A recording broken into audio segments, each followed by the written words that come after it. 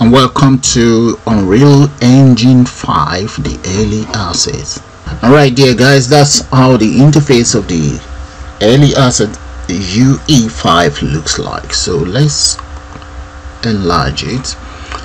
Okay here we have some templates for whatever game you want to develop and this is just for blank project.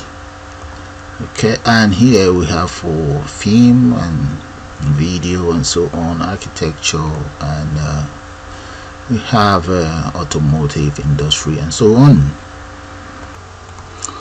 However for the purpose of this video tutorial I am going to start off by clicking on games and let's select blank project.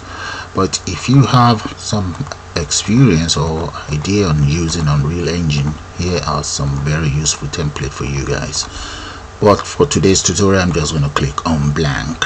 Select the blank and let's give our project a name. So I'm just going to call it Unreal minigame. Yeah minigame. There we go. And I am going to click on create. Let's move it up so that you guys can see it make sure you already have your own uh, project area. That is where I intend to save my project. Is right inside the folder that I already have. If you don't have a project area all you need to do is click on this browser and just browse to wherever you intend to save your work. Like I already have a place where I'm saving my work okay? If you don't have one of those all you just need to do is just create one.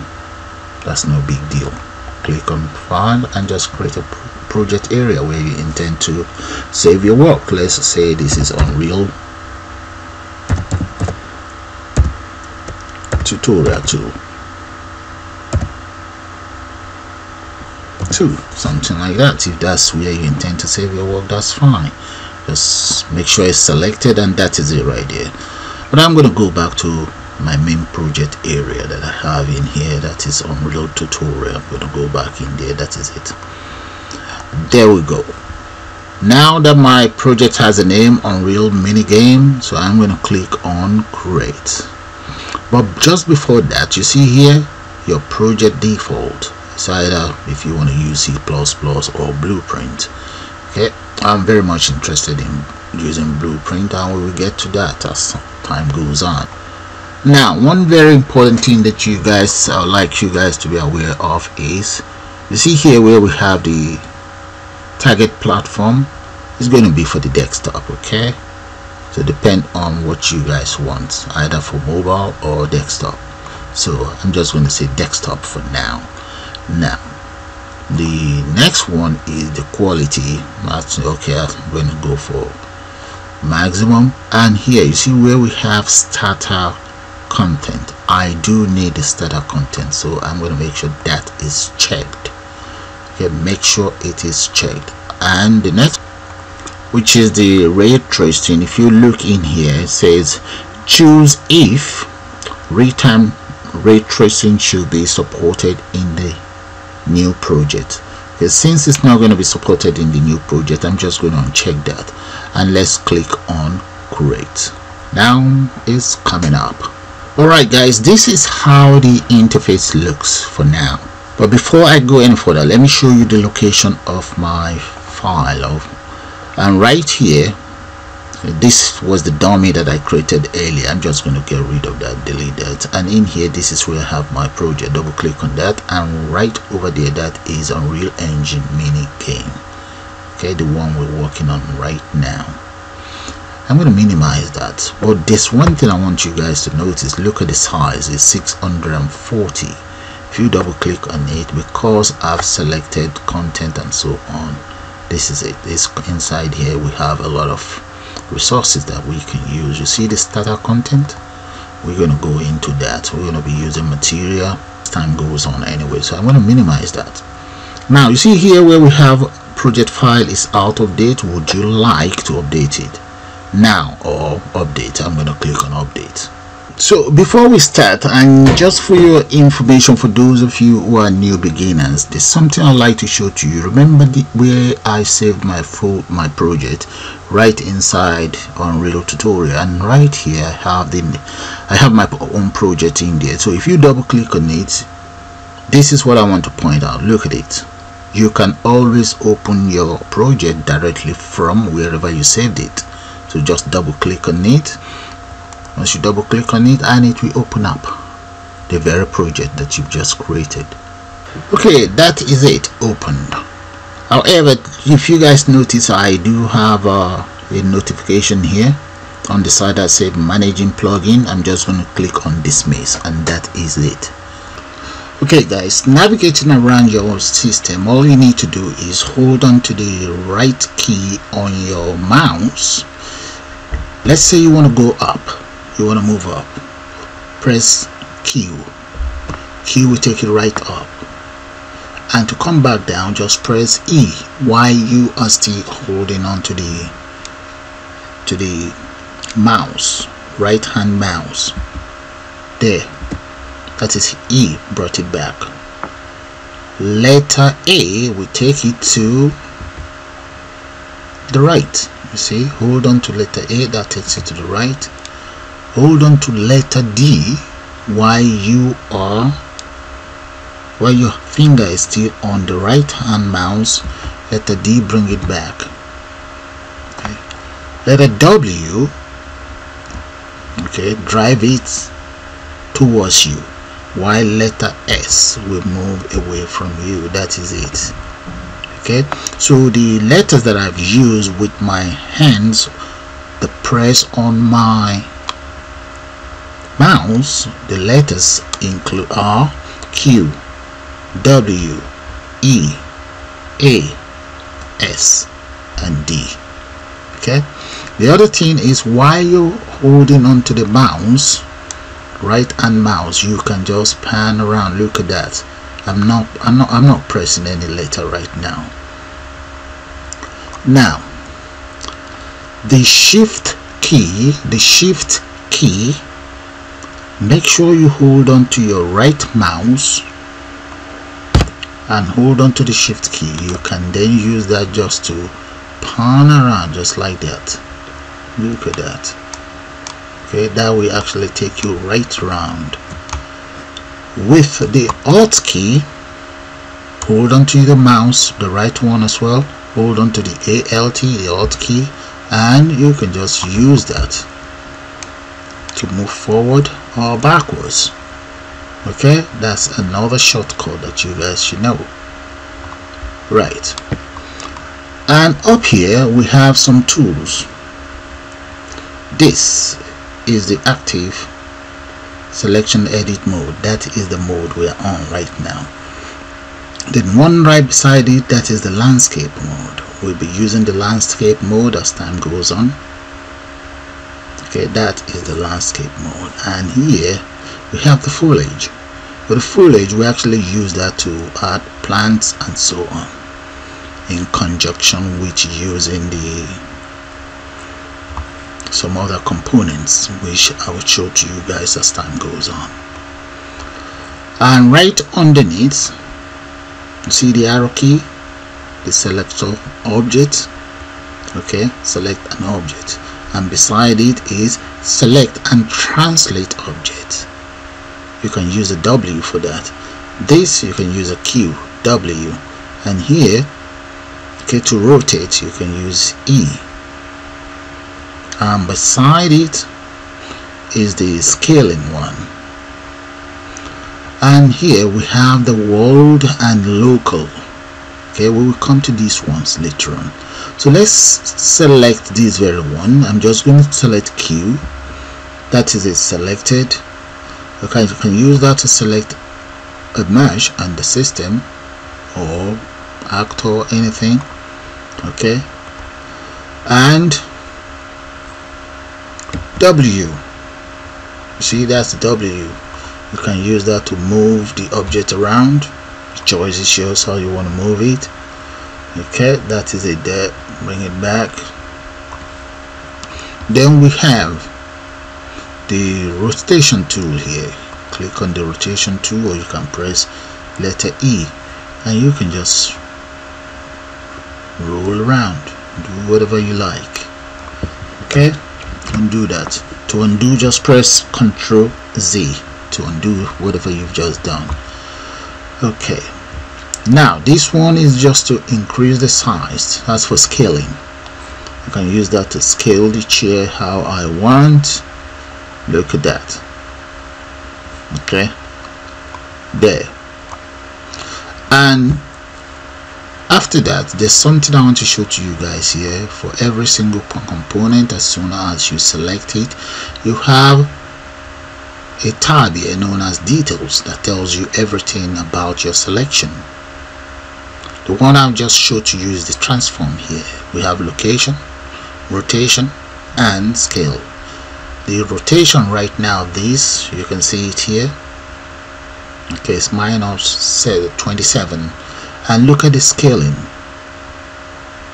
The official scaling is 1.0 1.0 and so on. But this one because I've scaled it look at it is 4.5 so I'm going to change it back to 1 1 for the x-axis 1 for the y-axis and z-axis I'm going to change that to 1 as well. And guess what? It's back the way it was. Okay that is the purpose of the details. There's a lot more to details. You can look at that. There's a lot more.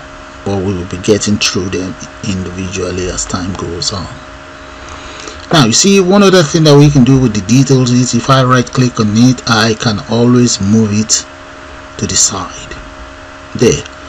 And that brings us to world outliner the world outliner comprises of every single component that we have in here. That's for the floor. There are two floors here and that is for the statue there and the table. Okay?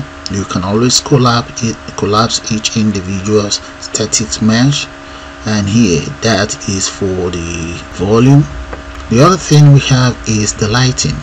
There they are they've actually put all of these in a folder for us which you can also create your own folder if you have some other objects. You can just right click to create your own folder. So that is it there. So just click on that and you create a folder for yourself. Alright now that you guys get an idea of all of these and these you see the outliner you can also right click on it and move it to the side. There we go. If you want to move it back right click and select restore tab. Repeat that for the details as well. Supposing all of these components are not there if they're not there at all okay? But before then let's close all of these. Let's assume they are on they're not there to get them restored all you need to do is you don't have to panic go to windows and select load layer the default layer that's the one you want click on that. And there we go. That is the default layer. Now the default layer as you guys have seen we we have our world outliner and the details layer. We can always I'm going to dismiss that. We can always go back into Windows and let's select world setting. There. That is world setting there. Okay as time goes on you guys will see how the world setting and so on works. Okay. And the other thing that we have in here is known as content drawer okay i'm going to show you guys the content drawer. Let's move this up. Right there that is the content drawer. All you need to do to get to that content drawer is to hold on to your control and space. Hold on to the control space and that will open up the content drawer. Or you can always just click on the content drawer itself okay?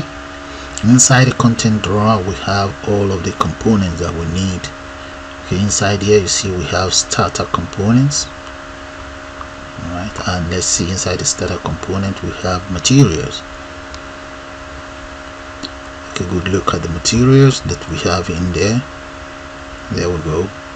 And what do we use this material for? Supposing now to make this table look funny. Let it look rocky like rocky table. Just drag it and drop that on top of it and that's it. Look at it. Looks pretty okay go back in there.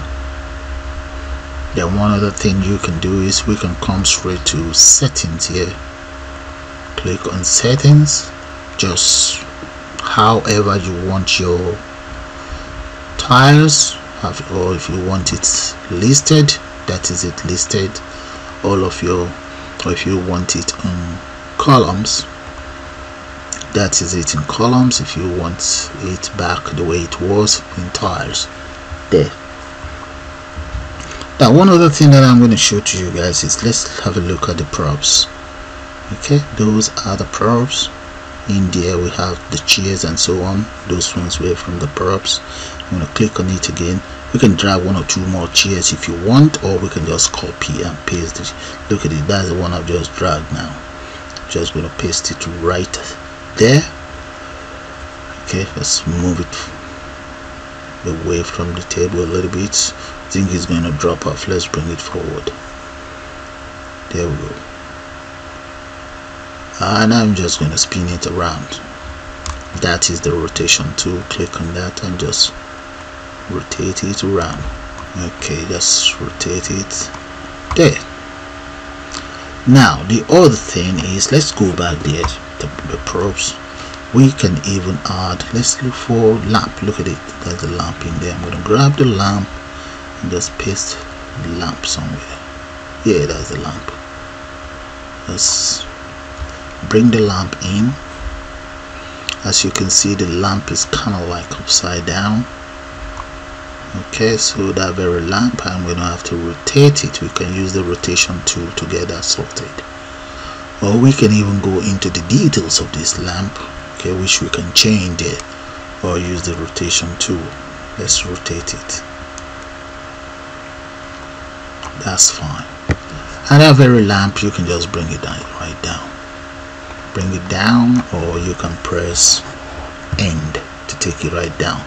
Once you press end I mean E and E D that will actually take it down for you okay that is the lamp right there. And guess what? You can copy the lamp you can copy any of these component we have in here. If you hold on to your make sure it's selected okay? And you hold on to the alt key just click and drag. I've just copied that very lamp. There. Okay I can let me select both lamp now I want to copy both without doing any other thing than selecting control W. I've copied it already. So just come in here just drag both using control W. Okay guys. They're looking good. Let's go back in here the content drawer okay inside the content drawer we have a lot of other mesh there that we can use but we we, we have to come back to all of these as time goes on okay? Most of the stuff you need they are all here. Agreed as time goes on we also have to import asset from other from other area okay? So for now i'm going to call it the end of this tutorial and i'll see you guys shortly